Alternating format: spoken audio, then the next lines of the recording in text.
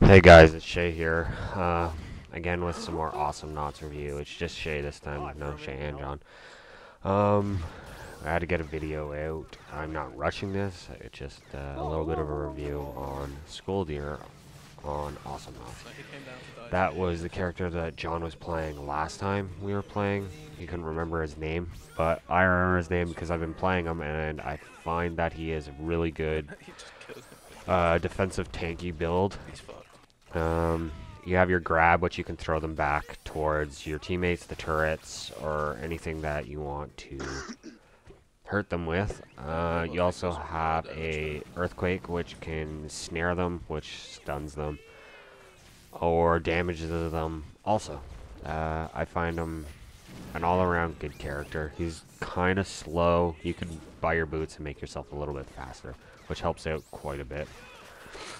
Um, what else is there to say about him? I'm Fucking handicap man. He thinks that. not too sure, really.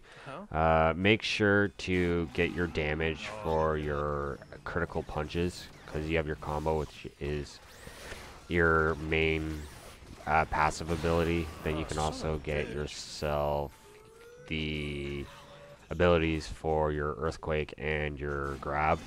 Make sure to level up your grab too, because you want it on a quick cooldown. The cooldown will allow you to get the grab back a lot quicker, which is really good for if you're chasing someone, you can throw them back.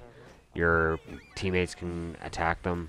You can then chase them again and then throw them back again really quick. And it's very, very, very effective. Uh, I don't think there's much more to say about the character. Just keep watching our videos, and thanks. Uh, I'll let you watch the rest of the video. And have a good day. I went 16 and 5. Are infinite.